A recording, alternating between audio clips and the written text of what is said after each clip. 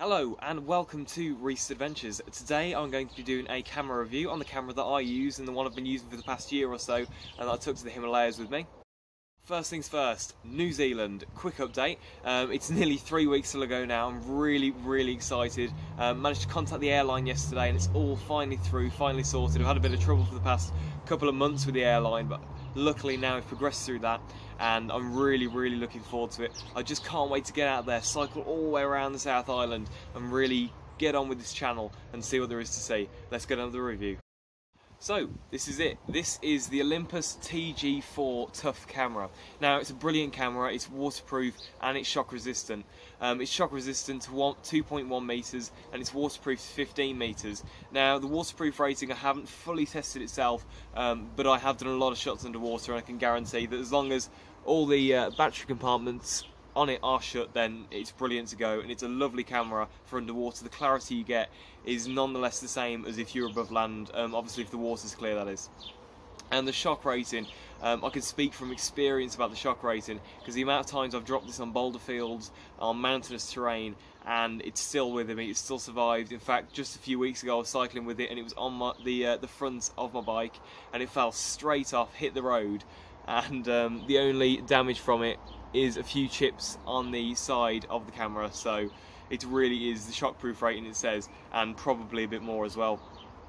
Now the first piece of advice I give for this camera is get a screen protector for the back of that screen because I didn't and I've ended up with the odd few scratch scratches on it and I wish I had because don't forget this screen is scratch resistant not scratch proof. Um, and it does kind of show when you're out. I mean the amount of times I have dropped this and it has scratched sadly.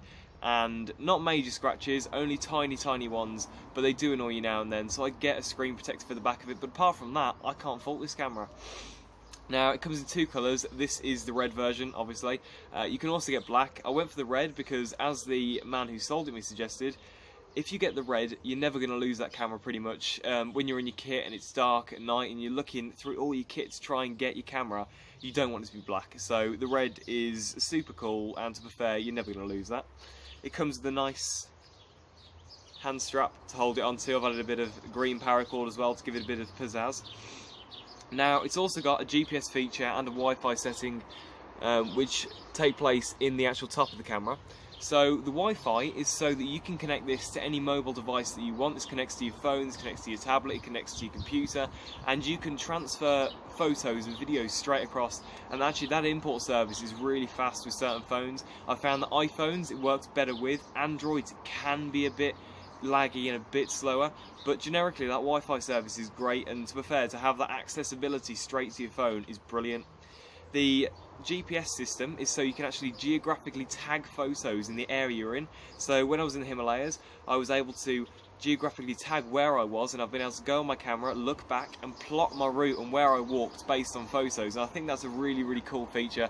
And especially if you just want to know the coordinates of your area or where you are or where's north, you can get compasses and all sorts of stuff um, on the camera itself. Now I will go through what it has on it. It has quite a few different settings as you can see. So the first one is obviously the auto setting, that's really good for just a quick snap, quick photo. It's got a scene setting. Now the scene setting has got absolutely multiple scenes on. It's got fireworks, it's got sunsets, it's got absolutely, it can take beautiful photos this camera can. It, it is really a work of art I have to say. Um, the next one that's really interesting to me is the microscope setting, I don't know if you can see that, but the microscope setting, I'll put a photo up now.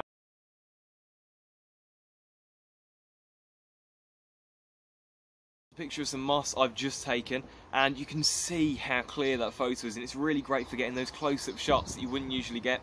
Also I've took a few photos of insects and things like that and that's what the setting is really great for. It's also got an underwater mode which kind of makes it a bit more optical and puts it into a fish's perspective but that works underwater due to how the light hits and things like that. So this camera is really great at compensating for all these different external factors that can affect um, what it can do. Now, what I quite like about it is as a digital camera, it actually works quite well as a DSLR. Now, obviously DSLRs are really advanced cameras and you can mess around with them so much, but so can you with this one. Now, the amount of settings you can get on this, you can customize it beyond belief, and most digital cameras um, wouldn't actually pick up pictures of the stars and things like that because you can't mess with the settings to that degree. This camera can, and I've actually got a few photos from when I've been out of the stars, and if you mess around with it enough and you really faff with the settings and know what you're on about, then this camera can really, really work for you. But again, as I said, you've really got to look into it and you've got to know what you're doing um, to get photos like that. So that is a bit of a downside, but if you've got the time, then you can look into it and it's not that difficult once you learn how to do it. I mean I've learned how to do it now. I learned it in about a couple of days and finally I mastered it and I can now take photos of the stars and I've saved that as a as a custom setting. I think it's uh, it's on custom custom 2 and that's really great and I can use that at any time I want. So those are pretty much a lot of the settings on it. It's also got more, I mean you can faff around with the megapixels, you can mess with the frame size, you can all sorts of stuff. But really, this camera it's just brilliant. It films in 4K as well, which is it's brilliant. The file sizes might be big in 4K, admittedly, but they're worth it because they're so so clear. And I mean, a lot of the videos I take, I wouldn't be able to get without this camera because it's just an all-round. You can take it absolutely everywhere. Anything I do, I know this camera will be good. I've got a camera case for it, of course, to keep it safe. And the speakers on the top they're not the best at times. Um, in high wind, obviously, you do struggle a lot. I mean, I've sometimes in high winds, I've had the camera kind of this far away from my face, and it's actually struggles to pick up what I'm saying. But then again, it's a camera, not a microphone, so I'll let it off on that one. And when you play back things on the camera, these stereos are really, really clear. But the actual microphone itself, I think, could be uh, developed more to what it is. So if I just switch it on and give you a, a bit of an idea. So there we go, there's me. You've got all the settings down here. At the moment this is on the setting I've got it for stars um, and that's really really cool. So if I flip that round, custom one, I haven't got custom one set on anything at the moment.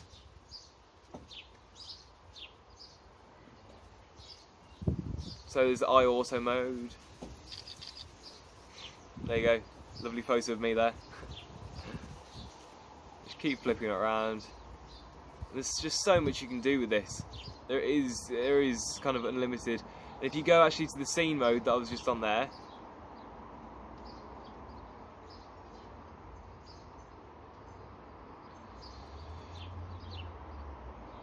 and as you can see, there's just so much you can do with this camera. And in terms of, if I had to rate it out of 10 on so many things, I'd definitely give it an 8 out of 10 as a camera. I just think it's brilliant. It does everything you need it to do. You know, there's a few things I could improve, which is why I can't give it the 10 out of 10. The microphone, for instance, needs improving. I think potentially the scratch proofing on the back could be better for the glass. But then again, I'm a bit rough with the camera, so it could just be me. You'll have to test it out for yourself but everything the GPS, the Wi Fi, and the value of this camera as well. I mean, I bought this camera a year ago and I bought it for about £300. I think it's gone down now. You're probably looking at about 200 £250 for this sort of camera, and it's so, so worth the money. I mean, a lot of people buy GoPros for this sort of stuff, but I think this does a hell of a lot more than a GoPro, and it's so much better value for money. So there we go. That is the Olympus TG4 Tough Camera review by Rhys's Adventures. As I said, subscribe and like the video below. Keep following this channel if you want to see more. And I'll see you soon, guys.